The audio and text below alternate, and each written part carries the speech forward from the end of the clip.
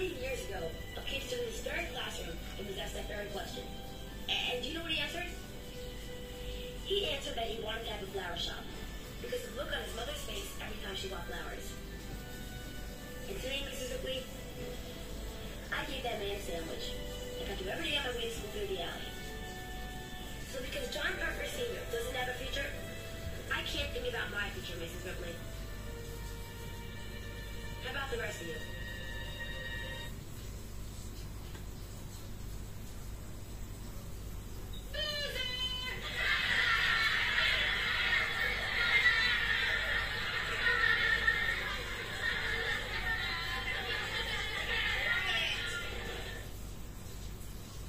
Begin the testing.